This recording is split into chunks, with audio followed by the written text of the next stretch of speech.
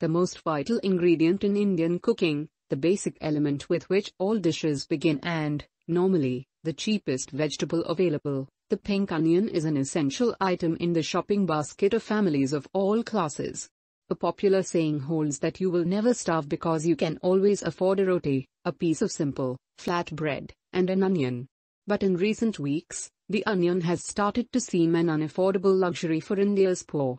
Over the past few days, another sharp surge in prices has begun to unsettle the influential urban middle classes.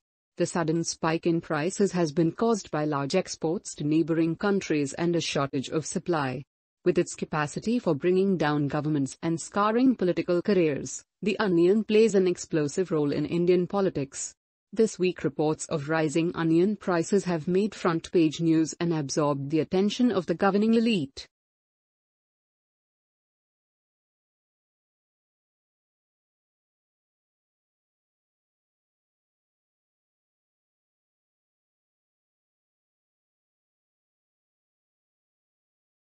The most vital ingredient in Indian cooking, the basic element with which all dishes begin and, normally, the cheapest vegetable available. The pink onion is an essential item in the shopping basket of families of all classes.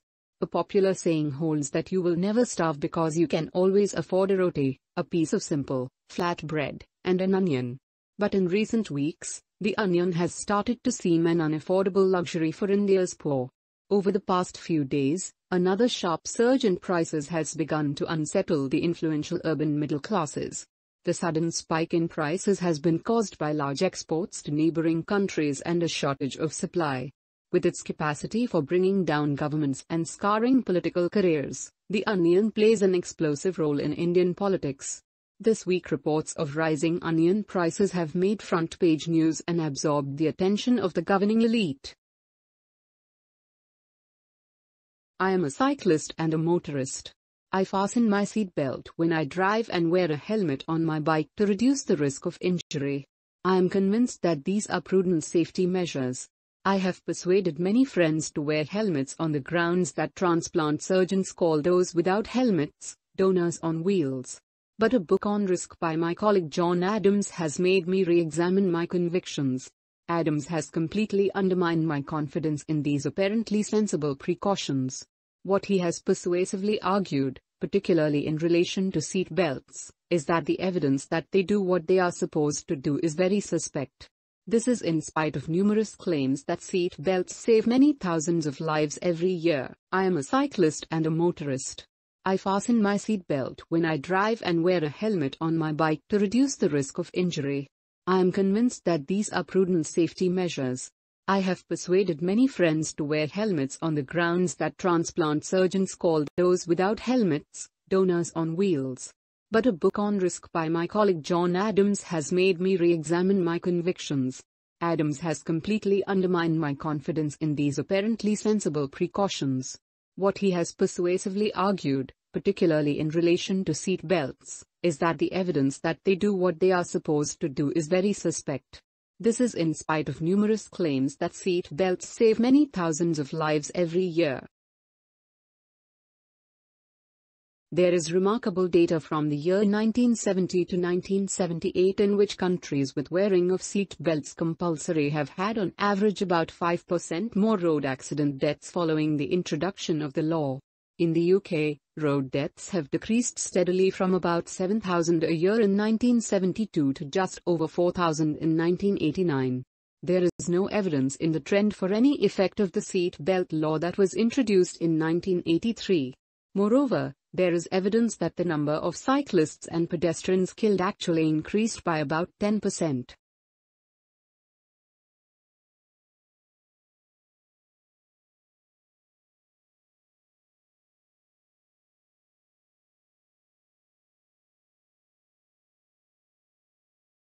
There is remarkable data from the year 1970 to 1978 in which countries with wearing of seat belts compulsory have had on average about 5% more road accident deaths following the introduction of the law.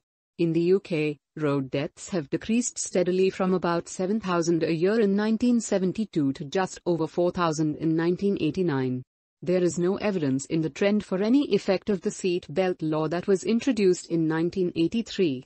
Moreover, there is evidence that the number of cyclists and pedestrians killed actually increased by about 10%. If after years of Spanish classes, some people still find it impossible to understand some native speakers, they should not worry. This does not necessarily mean the lessons were wasted. The confusion is partly political, the Spanish-speaking world is very diverse. Spanish is the language of 19 separate countries and Puerto Rico. This means that there is no one standard dialect.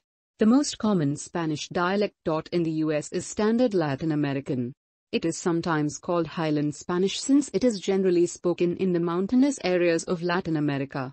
While each country retains its own accents and has some unique vocabulary, residents of countries such as Mexico, Colombia, Peru, and Bolivia generally speak Latin American Spanish, especially in urban centers. This dialect is noted for its pronunciation of each letter and its strong R sounds. This Spanish was spoken in Spain in the 16th and 17th centuries and was brought to the Americas by the early colonists. However, the Spanish of Madrid and of northern Spain, called Castilian, developed characteristics that never reached the New World. If after years of Spanish classes, some people still find it impossible to understand some native speakers, they should not worry. This does not necessarily mean the lessons were wasted. The confusion is partly political, the Spanish-speaking world is very diverse. Spanish is the language of 19 separate countries and Puerto Rico. This means that there is no one standard dialect. The most common Spanish dialect taught in the US is Standard Latin American. It is sometimes called Highland Spanish since it is generally spoken in the mountainous areas of Latin America. While each country retains its own accents and has some unique vocabulary, residents of countries such as Mexico, Colombia, Peru, and Bolivia generally speak Latin American Spanish, especially in urban centers. This dialect is noted for its pronunciation of each letter and its strong R sounds. This Spanish was spoken in Spain in the 16th and 17th centuries and was brought to the Americas by the early colonists. However, the Spanish of Madrid and of northern Spain, called Castilian, developed characteristics that never reached the New World.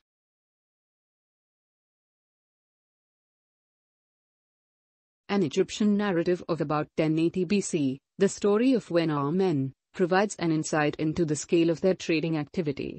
One of the characters is Roquetai, a Phoenician merchant living at Tanis in Egypt's Nile Delta. As many as 50 ships carry out his business, plying back and forth between the Nile and the Phoenician port of Sidon. The most prosperous period for Phoenicia was the 10th century BC, when the surrounding region was stable.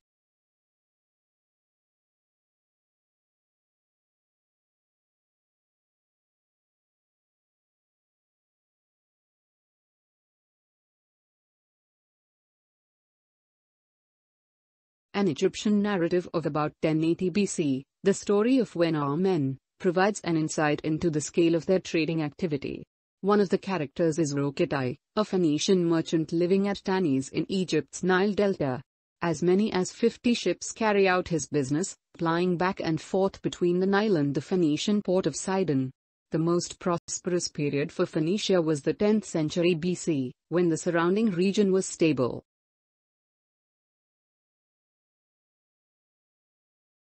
For all his fame and celebration, William Shakespeare remains a mysterious figure with regards to personal history.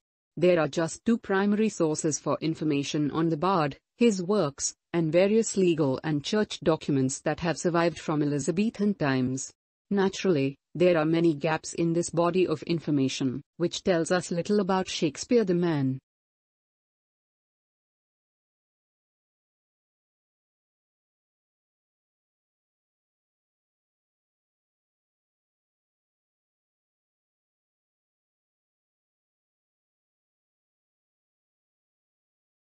For all his fame and celebration, William Shakespeare remains a mysterious figure with regards to personal history. There are just two primary sources for information on the bard, his works, and various legal and church documents that have survived from Elizabethan times. Naturally, there are many gaps in this body of information, which tells us little about Shakespeare the man.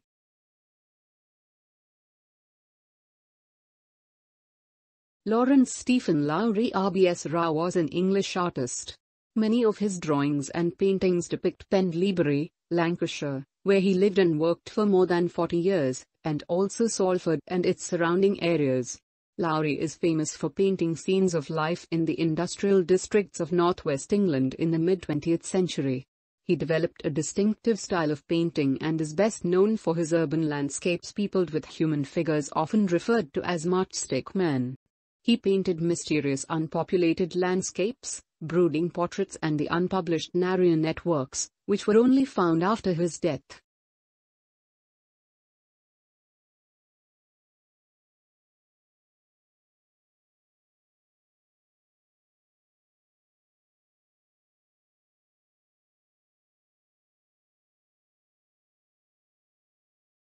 Laurence Stephen Lowry RBA RA was an English artist. Many of his drawings and paintings depict Pendlebury, Lancashire, where he lived and worked for more than 40 years, and also Salford and its surrounding areas. Lowry is famous for painting scenes of life in the industrial districts of northwest England in the mid-20th century. He developed a distinctive style of painting and is best known for his urban landscapes peopled with human figures often referred to as matchstick men. He painted mysterious unpopulated landscapes, brooding portraits and the unpublished marionette works, which were only found after his death.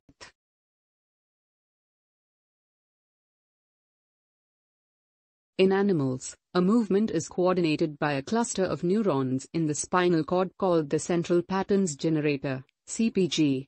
This produces signals that drive muscles to contract rhythmically in a way that produces running or walking, depending on the pattern of pulses.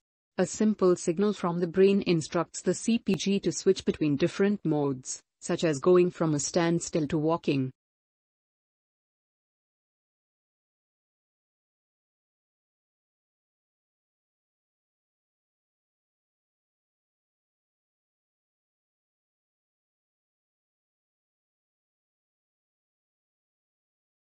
In animals, a movement is coordinated by a cluster of neurons in the spinal cord called the central patterns generator, CPG. This produces signals that drive muscles to contract rhythmically in a way that produces running or walking, depending on the pattern of pulses. A simple signal from the brain instructs the CPG to switch between different modes, such as going from a standstill to walking.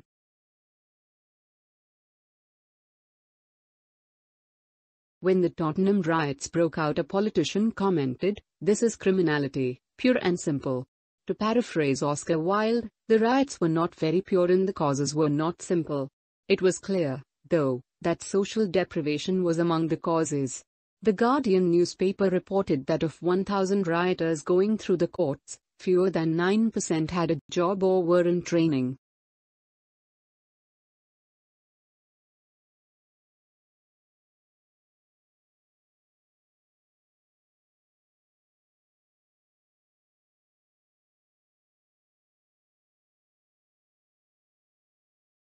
When the Tottenham riots broke out a politician commented, this is criminality, pure and simple. To paraphrase Oscar Wilde, the riots were not very pure and the causes were not simple.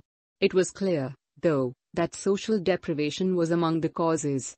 The Guardian newspaper reported that of 1,000 rioters going through the courts, fewer than 9% had a job or were in training.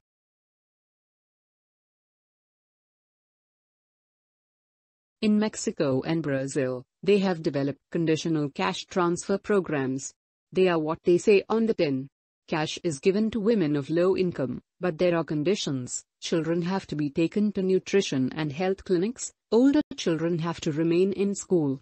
In Brazil, the result has been great reductions in poverty and inequality, improvements in school attendance, especially of girls, and health improvements questions have been raised as to whether the conditionality is needed.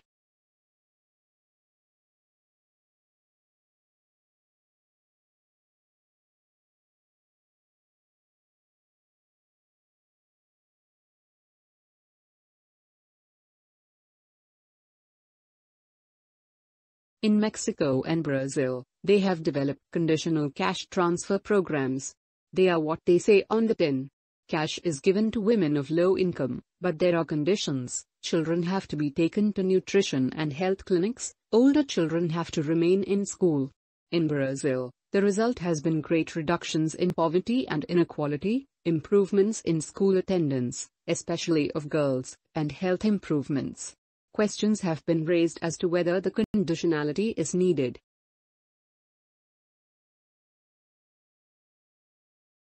Migrant children who do attend schools in cities usually get a worse education than their city-born counterparts.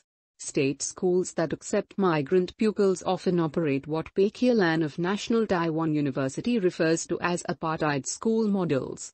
In these, migrant children are taught separately from urban ones in the same school, and are even kept apart from them in the playground. Migrant children who do attend schools in cities usually get a worse education than their city-born counterparts. State schools that accept migrant pupils often operate what Baek Hye-lan of National Taiwan University refers to as apartheid school models. In these, migrant children are taught separately from urban ones in the same school, and are even kept apart from them in the playground.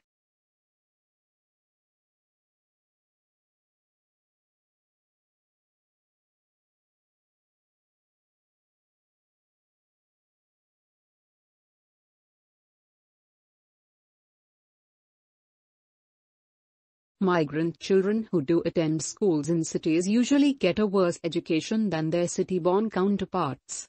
State schools that accept migrant pupils often operate what Baek Hye-lan of National Taiwan University refers to as apartheid school models. In these, migrant children are taught separately from urban ones in the same school, and are even kept apart from them in the playground. Migrant children who do attend schools in cities usually get a worse education than their city-born counterparts. State schools that accept migrant pupils often operate what Baek Hye-lan of National Taiwan University refers to as apartheid school models. In these, migrant children are taught separately from urban ones in the same school, and are even kept apart from them in the playground.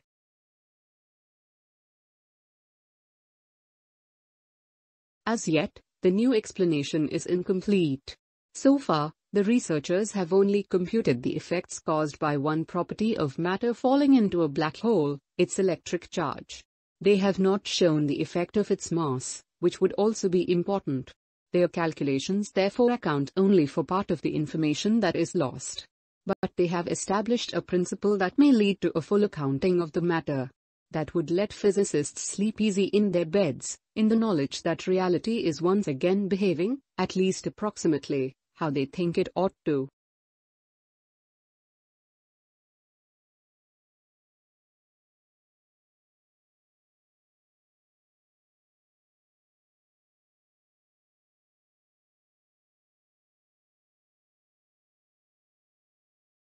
As yet, the new explanation is incomplete. So far, the researchers have only computed the effects caused by one property of matter falling into a black hole, its electric charge. They have not shown the effect of its mass, which would also be important. Their calculations therefore account only for part of the information that is lost. But they have established a principle that may lead to a full accounting of the matter. That would let physicists sleep easy in their beds, in the knowledge that reality is once again behaving, at least approximately, how they think it ought to.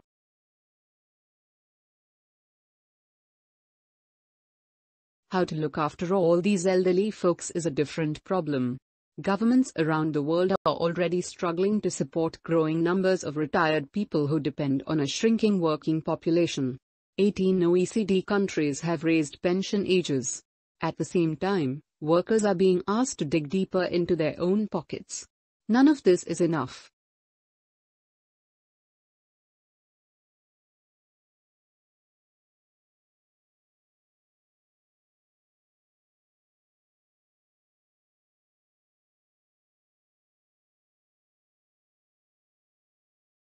How to look after all these elderly folks is a different problem.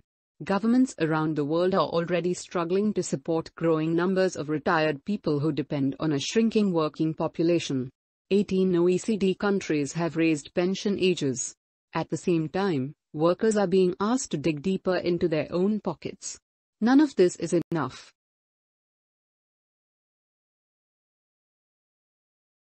In this method, a laser is used to create a line of ionization by removing electrons from atoms. This laser is then directed at storm clouds in order to control electrical charges, a method which is less dangerous than using rockets.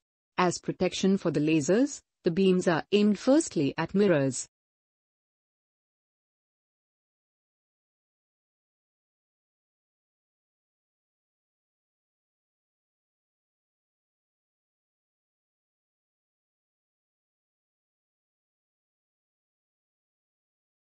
In this method, a laser is used to create a line of ionization by removing electrons from atoms. This laser is then directed at storm clouds in order to control electrical charges, a method which is less dangerous than using rockets.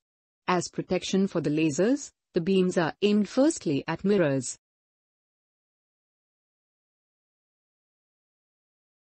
In Italy, some of these cities were able to gain control of the surrounding country and to become city-states resembling those of the ancient Greeks. Their autonomy was assisted by the continuing struggle between popes and emperors, between church and state, again, a thoroughly unique Western experience. In these states, the modern world began to take form. Although the people were mainly Christians, their life and outlook became increasingly secular. Here, and not only in Italy but in other cities north of the Alps, arose a worldview that celebrated the greatness and dignity of mankind, which was a very sharp turning away from the medieval Western tradition that put God and life in the hereafter at the center of everything.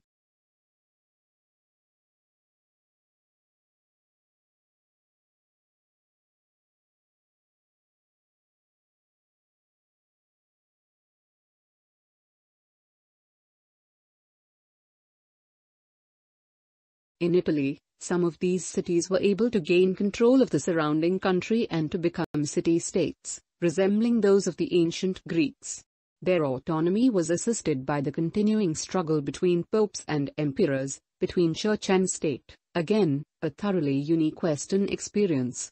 In these states, the modern world began to take form. Although the people were mainly Christians, their life and outlook became increasingly secular. Here, and not only in Italy but in other cities north of the Alps, arose a worldview that celebrated the greatness and dignity of mankind, which was a very sharp turning away from the medieval Western tradition that put God and life in the hereafter at the center of everything.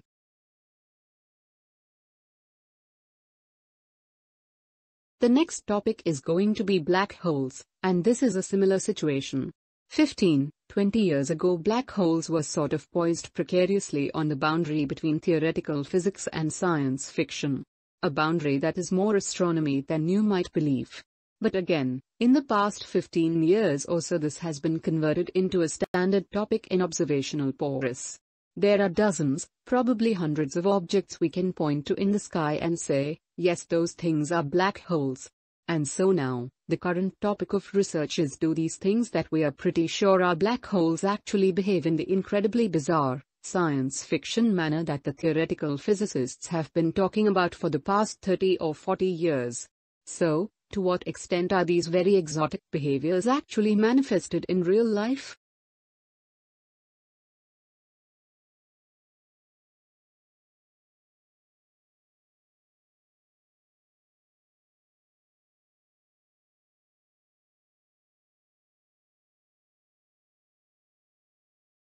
The next topic is going to be black holes, and this is a similar situation.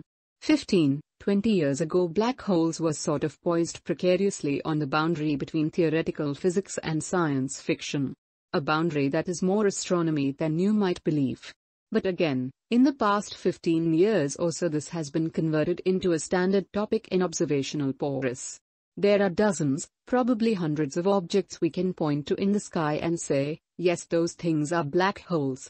And so now, the current topic of research is do these things that we are pretty sure are black holes actually behave in the incredibly bizarre, science fiction manner that the theoretical physicists have been talking about for the past 30 or 40 years. So, to what extent are these very exotic behaviors actually manifested in real life?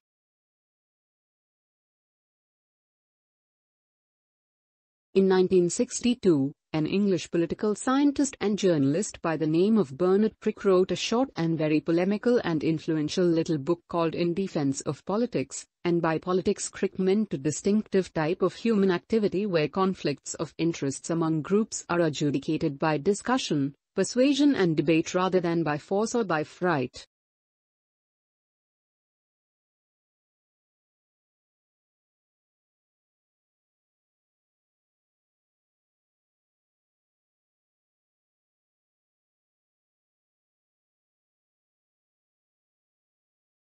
In 1962, an English political scientist and journalist by the name of Bernard Crick wrote a short and very polemical and influential little book called In Defense of Politics, and by politics Crick meant a distinctive type of human activity where conflicts of interests among groups are adjudicated by discussion, persuasion and debate rather than by force or by fright.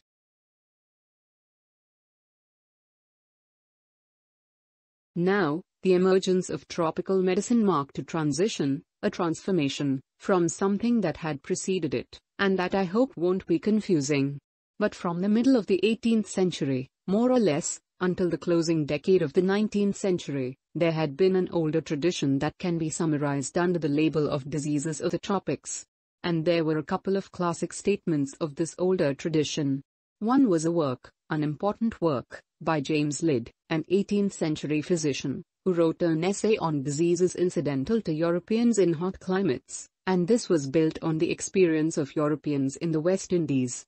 And then there was another work by James Johnson called The Influence of Tropical Climates on European Constitutions, built on the experience of Europeans in India.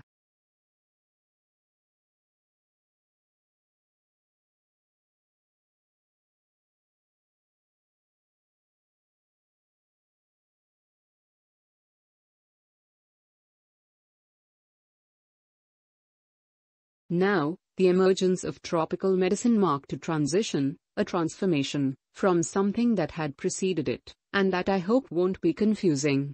But from the middle of the 18th century, more or less, until the closing decade of the 19th century, there had been an older tradition that can be summarized under the label of diseases of the tropics. And there were a couple of classic statements of this older tradition. One was a work, an important work, by James Lind, an 18th century physician, who wrote an essay on diseases incidental to Europeans in hot climates, and this was built on the experience of Europeans in the West Indies. And then there was another work by James Johnson called The Influence of Tropical Climates on European Constitutions, built on the experience of Europeans in India.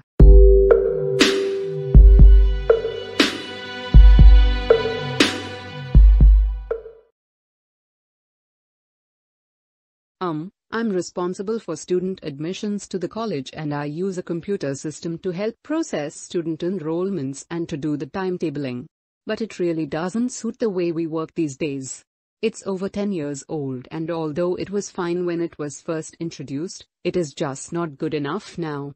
20 years ago, the college was quite small and we didn't have the number of students and tutors that we have now. There's a lot more data now and it sometimes seems the system has crashed but, in fact, it just takes ages to go from one screen to the next.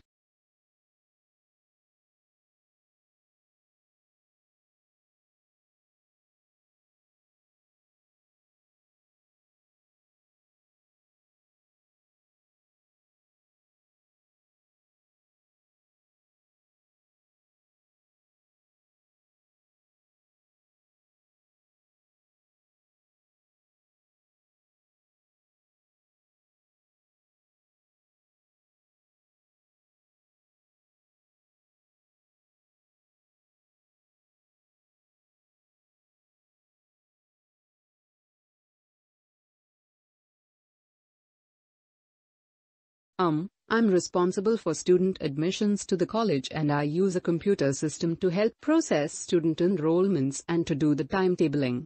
But it really doesn't suit the way we work these days. It's over 10 years old and although it was fine when it was first introduced, it is just not good enough now. 20 years ago, the college was quite small and we didn't have the number of students and tutors that we have now. There's a lot more data now and it sometimes seems the system has crashed but, in fact, it just takes ages to go from one screen to the next.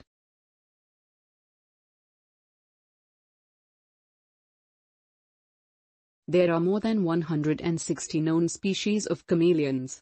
The main distribution is in Africa and Madagascar, and other tropical regions, although some species are also found in parts of southern Europe and Asia. There are introduced populations in Hawaii and probably in California and Florida too. New species are still discovered quite frequently. Dr. Andrew Marshall, a conservationist from York University, was surveying monkeys in Tanzania when he stumbled across a twig snake in the Migombe forest which, frightened, coughed up a chameleon and fled. Though a colleague persuaded him not to touch it because of the risk from venom, Marshall suspected it might be a new species.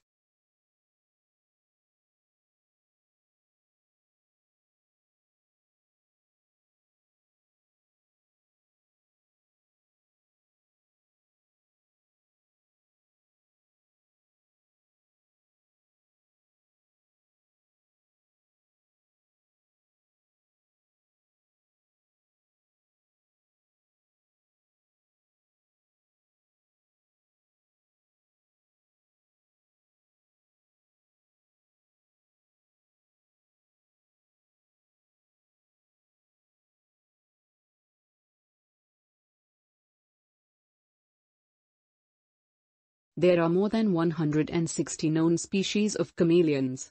The main distribution is in Africa and Madagascar, and other tropical regions, although some species are also found in parts of southern Europe and Asia. There are introduced populations in Hawaii and probably in California and Florida too. New species are still discovered quite frequently. Dr. Andrew Marshall, a conservationist from York University, was surveying monkeys in Tanzania when he stumbled across a twig snake in the Migombe forest which, frightened, coughed up a chameleon and fled. Though a colleague persuaded him not to touch it because of the risk from venom, Marshall suspected it might be a new species.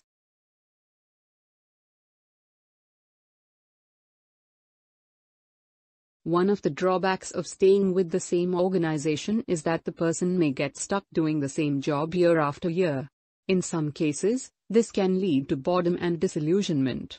Moving from one organization to another can be a strategic decision in order to have variety and acquire a range of skills and experience. The person may be incredibly knowledgeable in a range of fields by working in different organizations.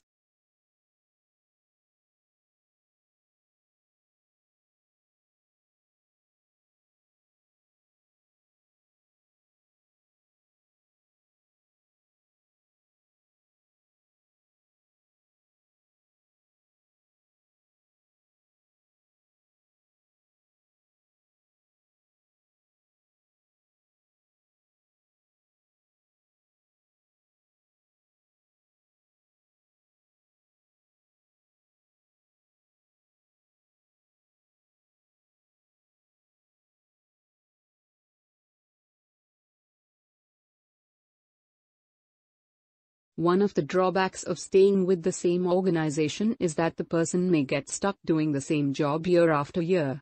In some cases, this can lead to boredom and disillusionment.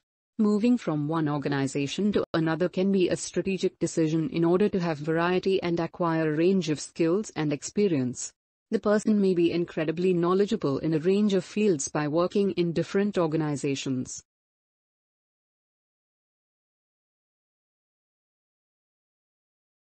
Using the internet has become a normal part of everyday life for many people. They use it to book airline tickets, or to access news about world events, or to follow the fortunes of their favorite football club.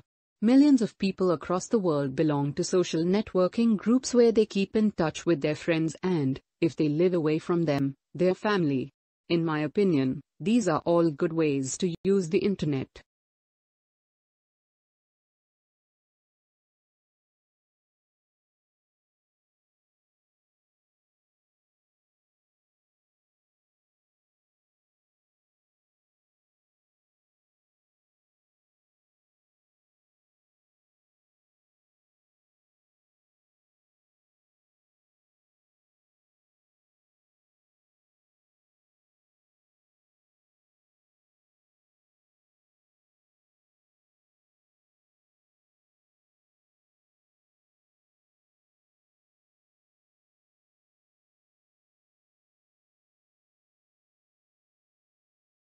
Using the internet has become a normal part of everyday life for many people.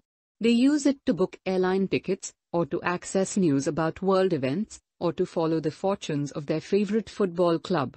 Millions of people across the world belong to social networking groups where they keep in touch with their friends and, if they live away from them, their family. In my opinion, these are all good ways to use the internet.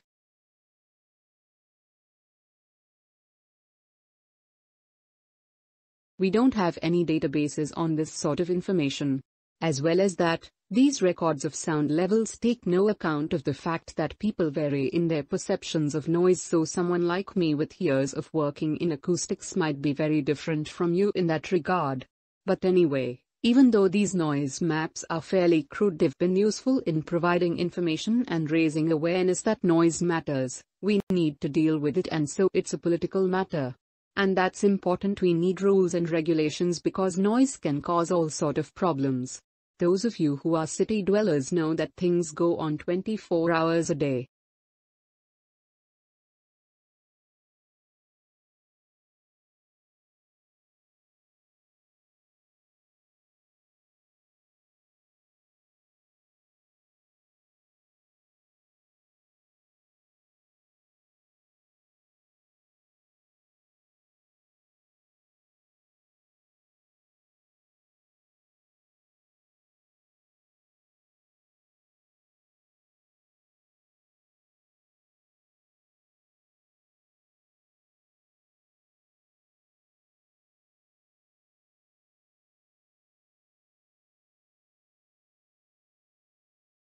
We don't have any databases on this sort of information.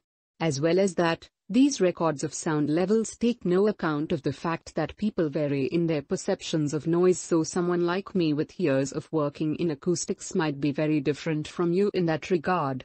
But anyway, even though these noise maps are fairly crude they've been useful in providing information and raising awareness that noise matters, we need to deal with it and so it's a political matter. And that's important we need rules and regulations because noise can cause all sort of problems. Those of you who are city dwellers know that things go on 24 hours a day.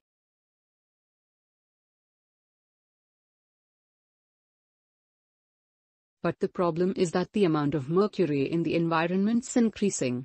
The main reason for this is the power plants used to produce electricity. The main source of energy that most of them use is still coal and when it's burned it releases mercury into the atmosphere. Some of this gets deposited into lakes and rivers, and if it's ingested by a fish it's not excreted, it stays in the fish's body and it enters the food chain so it's been known for some time that birds which eat fish may be affected, but what wasn't known until quite recently is that those that eat insects can also be affected.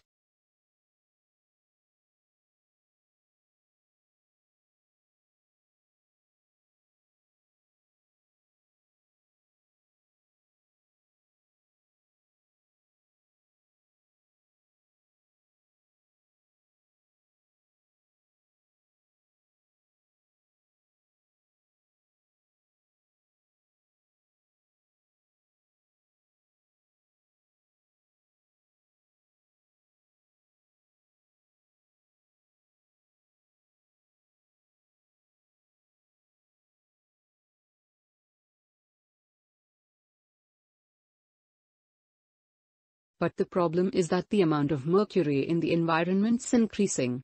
The main reason for this is the power plants used to produce electricity. The main source of energy that most of them use is still coal and when it's burned it releases mercury into the atmosphere. Some of this gets deposited into lakes and rivers, and if it's ingested by a fish it's not excreted, it stays in the fish's body and it enters the food chain so it's been known for some time that birds which eat fish may be affected, but what wasn't known until quite recently is that those that eat insects can also be affected.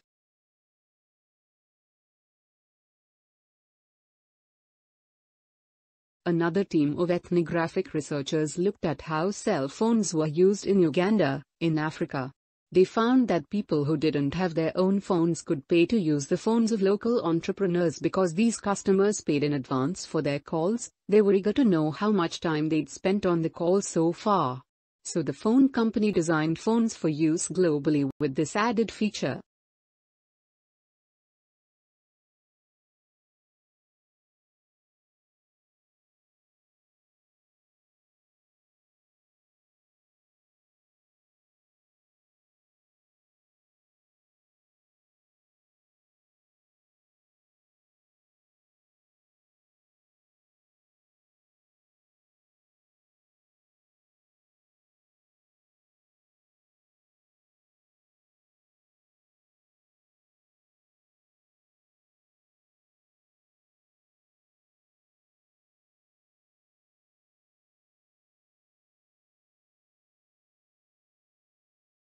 Another team of ethnographic researchers looked at how cell phones were used in Uganda, in Africa. They found that people who didn't have their own phones could pay to use the phones of local entrepreneurs because these customers paid in advance for their calls, they were eager to know how much time they'd spent on the call so far. So the phone company designed phones for use globally with this added feature.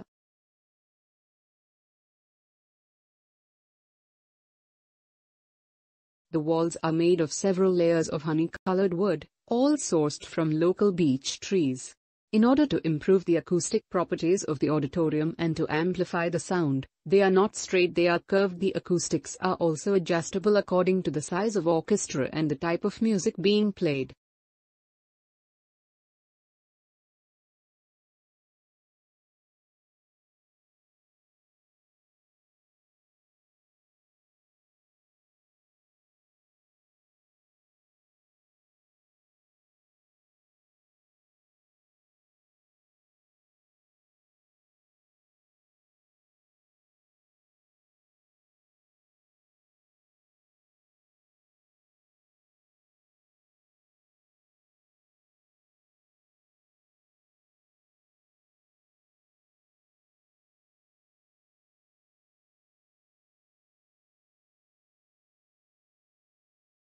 The walls are made of several layers of honey-colored wood, all sourced from local beech trees. In order to improve the acoustic properties of the auditorium and to amplify the sound, they are not straight they are curved the acoustics are also adjustable according to the size of orchestra and the type of music being played.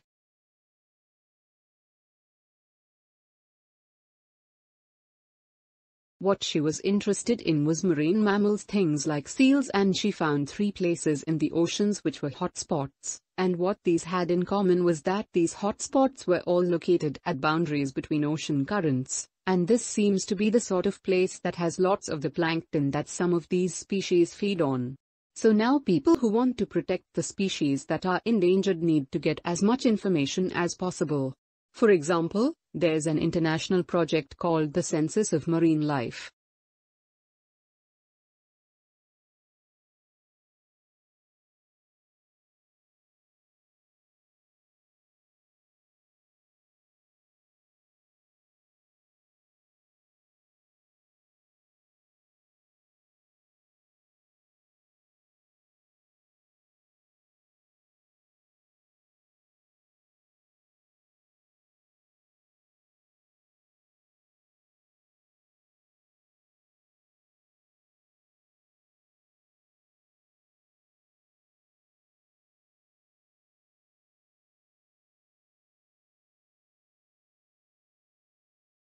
What she was interested in was marine mammals things like seals and she found three places in the oceans which were hotspots, and what these had in common was that these hotspots were all located at boundaries between ocean currents, and this seems to be the sort of place that has lots of the plankton that some of these species feed on.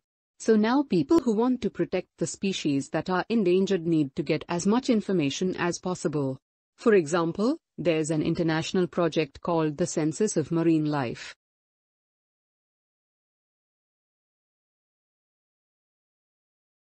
We can gain an accurate knowledge of the past only if we know the age of the different sources being investigated. Without this information, historians and archaeologists could not be sure of the order in which different areas were settled, used and abandoned. They would not always be sure if a particular object was real or forgery.